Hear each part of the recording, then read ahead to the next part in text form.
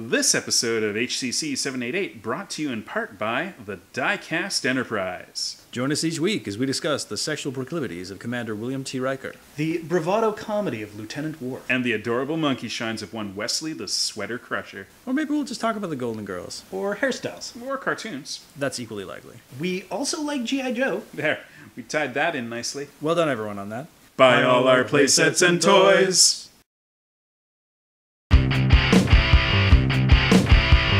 Political Commander 788 here.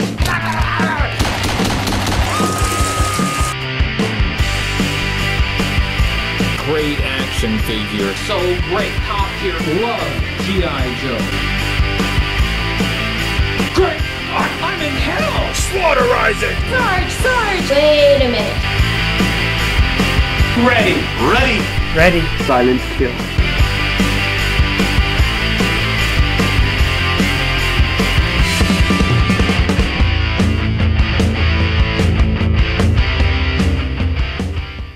Everybody. Hooded Cobra Commander 788 here, and I am in my closet. I am in total darkness. I've been in here for 24 hours.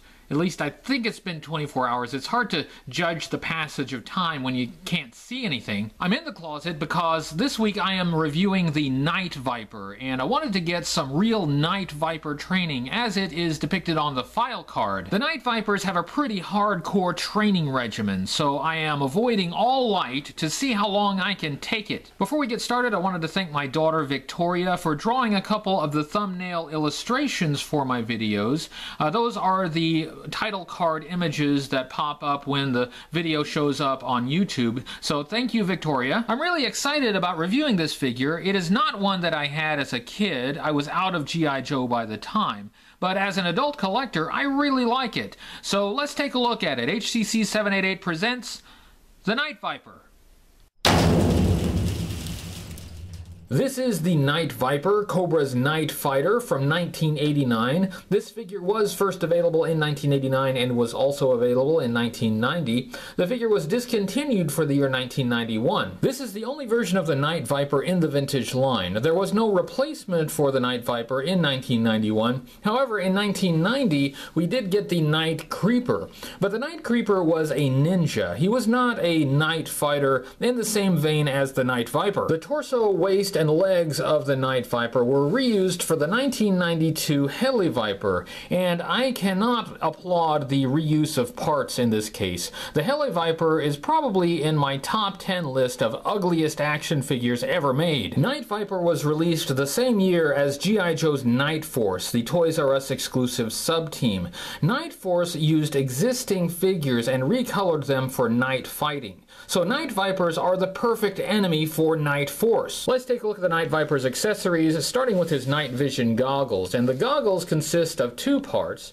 There is the visor, which is attached to his head and is hinged, so you can flip it up to see his mask underneath. Very nicely done. Uh, you can remove the visor very carefully. Uh, just be very cautious about that. It could snap. Uh, but you take that off, and then there is another part to it, this removable night vision scope which pops right on there. Uh, this night vision scope has a clip on it, but uh, it doesn't really seem to have anything to clip to. That's just an extra bit there. Uh, I think it would have been nice to have something to clip it to, uh, but really nice two-part night vision visor. This night vision goggle assembly may be based on the real-world AV PVS-7 single-tube night vision goggles. Uh, those were in service in 1985, so they would have been around in 1989 when the Night Viper was issued. Now let's take a look at the Night Viper's weapon, and his weapon is what the card contents call a gun with night scope, and that's not very descriptive. This rifle does have a scope on it and a very straight stock and no grip. I've not been able to identify a real-world weapon that this is based on.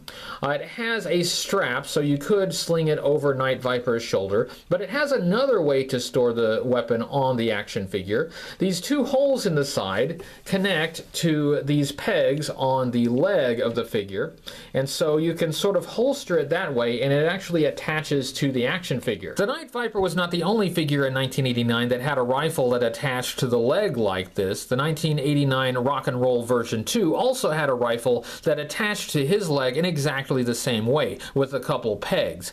This method of attaching the accessory to the figure is a little problematic. Those pegs are very thin and very easily broken off. You have to be very cautious with those. However, they were trying to add a new feature and a new way to holster the accessories, and so I can appreciate that. You can fit the rifle in the Night Viper's hand, despite the fact that there is no good obvious grip on it. However, since that stock is so straight, it limits the ways you can pose the figure with it. Night Viper's final accessory is his backpack, and this is a pretty good backpack.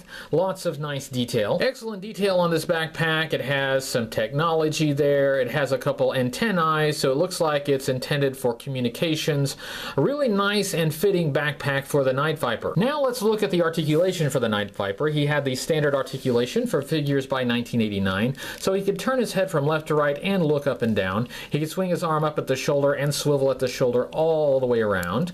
Uh, he had a hinge at the elbow, so he could bend at the elbow about 90 degrees. He had a swivel at the bicep, so he could swivel his arm all the way around.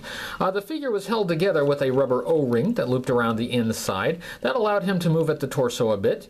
Uh, he could move his legs apart about so far. He could bend his leg at the hip about 90 degrees and bend at the knee about 90 degrees. Let's take a look at the sculpt, design, and color of the Night Viper, starting with the helmet. And the helmet is non-removable, which is standard for Cobra. We don't expect Cobra to have removable helmets, uh, but this is a wicked cool helmet and mask. We have green in the back here. The rest of the helmet is black. Uh, you can see his eyes there. The night vision goggle would come down to cover his eyes, um, and just really, really nicely done. You have the knobs there that the visor attaches to. Uh, those you have to be careful with. Those can crack off. Looking at Night Viper's chest, he has a green uniform, and this is a nice color for his job. This would still be pretty well concealed in the dark. Uh, he has a black strap with a black knife on it, really nicely detailed. Uh, some shoulder pads. The detail goes around to the back.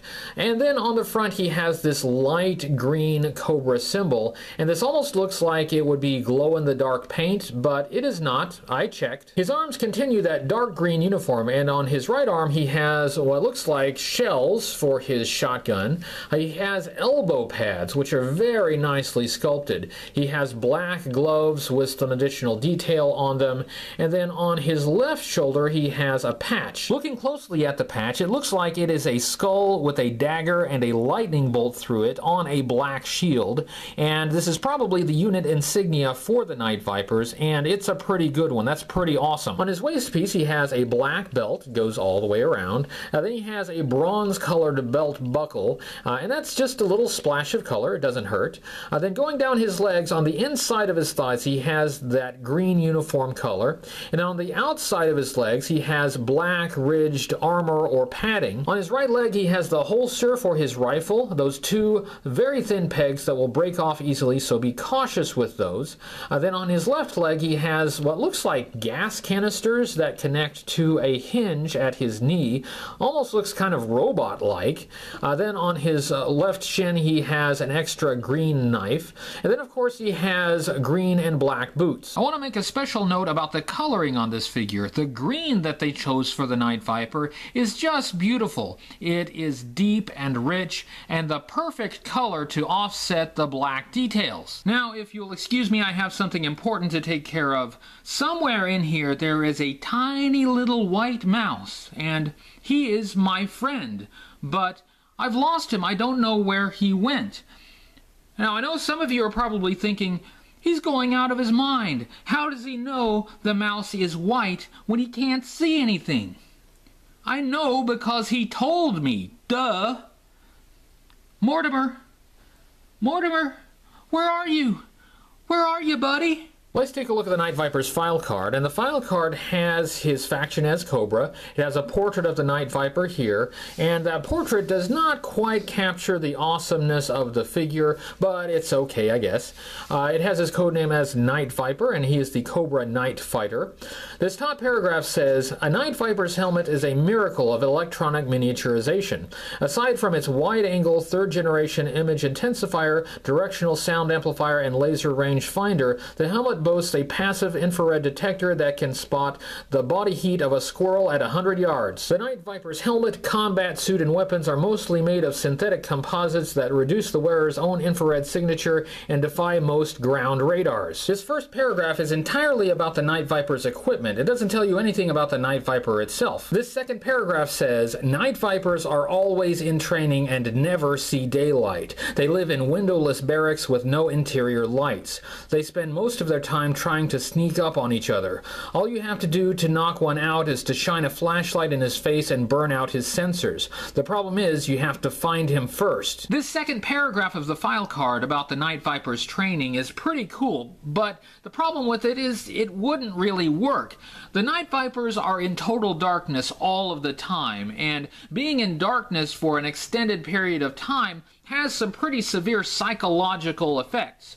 Uh, effects such as hallucinating uh, and totally losing track of time, sleeping for 12 or 13 hours when you think you just took like a 15 minute nap. The Night Viper's training would not turn them into elite soldiers, it would slowly drive them all insane. Instead of turning them into awesome night fighters, they would all go mad and be completely useless for combat. The Night Viper had limited G.I. Joe media appearances. In the cartoon, he appeared in the DiC animated series in the Operation Dragonfire miniseries. Unfortunately, he came along too late to appear in the better quality Sunbow animated series. In the G.I. Joe comic book series, the Night Viper first appeared in issue number 94 in the Snake Eyes trilogy. Snake Eyes gets plastic surgery to repair his damaged face.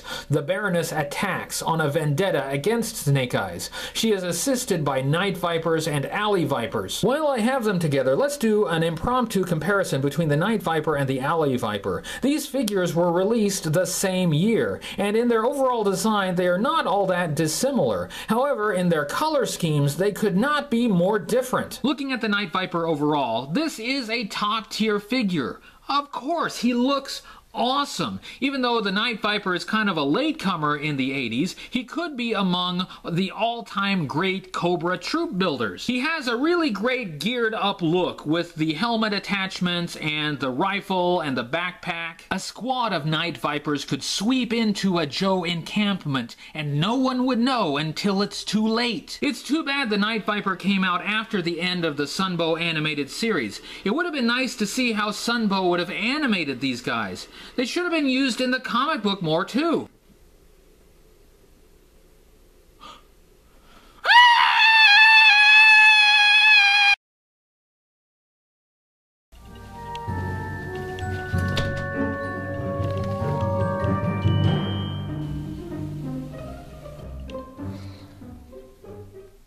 I guess I have to do the end part myself.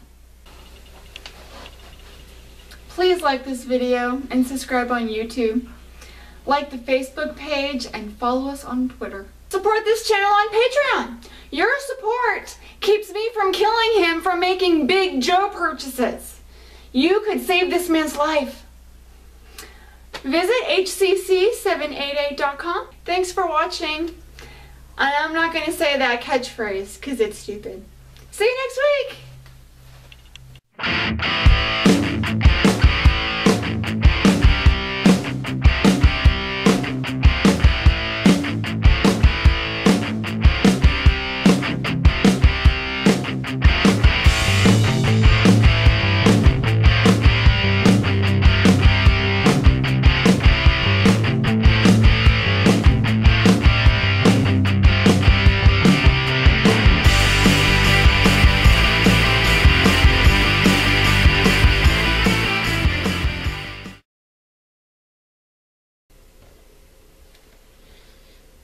Fall soon.